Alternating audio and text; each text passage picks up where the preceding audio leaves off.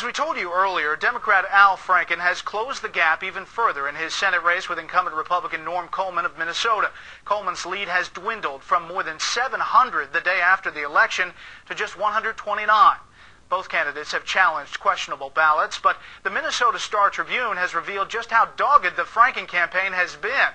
Franken is challenging this Plymouth City ballot.